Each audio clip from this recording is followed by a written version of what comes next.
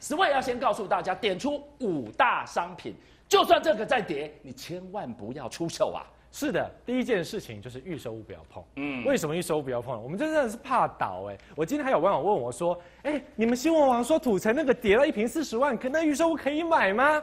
我就想说，万一他老板判刑被抓走，那个房子盖得起来吗？万一盖不起来怎么办？所以预售屋现在只是怕倒啊！而且呢，现在讲的预售都不是假的，建商都没有在降价。如果你买的预售屋，很可能明年。总统大选，政党轮替，你到时候你的房价就跌了一屁股。所以最差的情况是你买到就现赔，更烂的情况是搞不好这个建商给倒了。你不是买到烂尾楼吗？是啊，而且最近还有建商可能会倒，因为已经有传出说有些建商付不出钱来拿房子抵工程款。是，就我们做业者都知道，就是只要发生这种事情，就是表示房地产非常景气不好。纵使是台北第一豪宅叫做文华苑，当年也是差一点倒掉。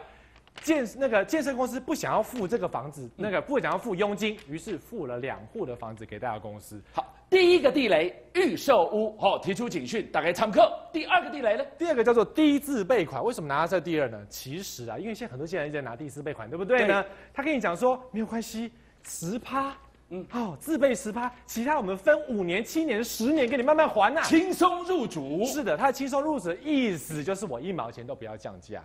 我看有没有笨蛋上来买，而且你先买再说，房价还在涨呢。他们会这样子讲。问题是说你根本就没有降到价，你的付款虽然轻松，但是你房价买到贵的了。所以低自备款它的弦外之音代表的就是贷款更多，利息更重。是的，而且羊毛出在羊身上，你用低自备款都把利息加在房屋身上，所以你房价可能买的比别人更贵。这时候建商就可以先拉高行情。再来自砍手脚，说我们很有良心，我们打七折、打六折来卖给你。可是呢，你看那个价格，你还是贪不到便宜，你根本没有尝到甜头。来，第三颗地雷是什么？哦，好严重，叫地上权呐！你知道吗？板桥一平三十万的房子，嗯，地上权。台北市大安区五字头、四字头地上权，地上权买了一定套了。因为呢，等你房屋交屋之后，你发现你房屋税比别人高。然后未来的叠价的空间比别人多，所以新制上路之后，哎，这房子就我们讲说，你买得起，你住不起，你也囤不起啊。是，而且呢，你去年买到，你说文山区的那个最夯的那个立山泉，可能明年就要交屋了。对。他是用劳建新，他是用房地合一的新制，哎，每个人急得要跳脚啊！所以那个很重的持有税、房屋税给拱了去，那种老会老底。老会老底，更扯的是，文山区旁边还有大量的社会住宅、大量的公营住宅，你到时候人家自价七折租，你的地上权的房子你要几折租，你才能赚得回来？你永远赚不回来。所以当你想到说没关系，要地上权我拿来当包租公，用租金去。付房贷不要想太美了。十位要告诉我们的第四颗地雷，我们来看到就是海外预售屋跟农地。好，这五颗地雷大家要当心。来，十位先请回座。我要问一下，来帅大哥，公话马亚姐的，哎，这五颗地雷做好心的公伙打个灾，我刚刚 on 哭掉不？有没有断了人家的幸福之路，断人家的财路？本来可以发一笔的，都是十位赶快衰。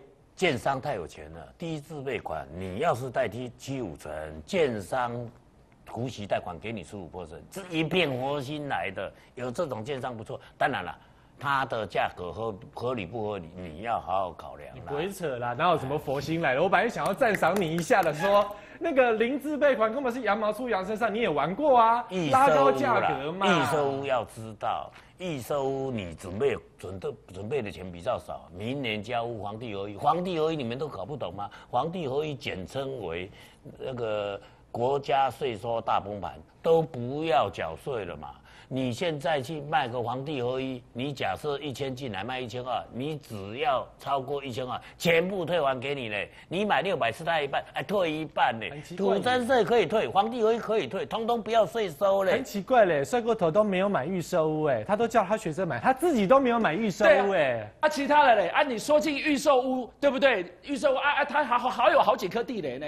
打打掉，让公公料武力，他自己也不买双北啊，他只炒那个乡下的地方啊。景美那个华差啊，啊或者讲差固啊，啊听不懂我也算了啦。那个真的哈，假设我买，我愿意断头。你愿意断头？因为新的房屋税真的超高，是加几倍。它的计价税，房子越来越旧，每一年给你十八十八，喂，我再告诉你啦，那个房子哈，两房一个机械车位，那边租两万啦。你房屋税、地价税一年你收二十四万，你会缴超过二十四万啦。蔡总，那个地上权可以买吗？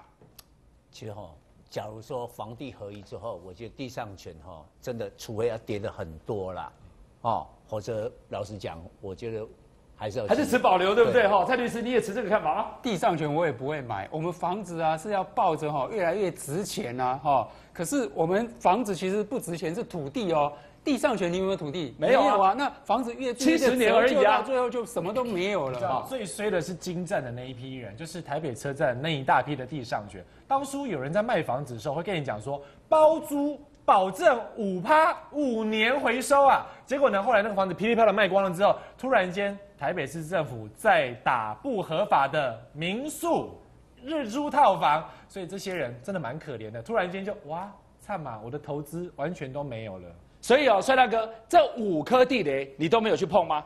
有啊，你碰了农地啦。他说农地不要碰啊。没有没有，我只买建地。哦，你买建地啊？农地绝对不行。宜农地之所以发生这个事情，就是宜兰县长他要拉五星级的饭店进来，但是农地就建农舍，农舍就变成有执照的合法民宿，民宿很多五星级饭店就不来了，所以他现在连农舍都不让你盖。但是要注意一件事情哦，政府不一定敢推哦，因为我以前买农地两千涨到两万，我去银行贷款是给我一万哦，你现在把它打到两千，我银农会是贷一万哦，我让农会倒。好，所以这五颗地雷哈，当然多空各自都有看法，一把子在你身上，好，大概做几下常客哎，五哥好，现在讲回来就是重要跟话就行，以及阿贝贝上面处这个很根本的问题呢，最近在 PTT 上啊，呃，网友在论战一个问题，卡叔，大家想想看。你也扣的要几千班，你要做。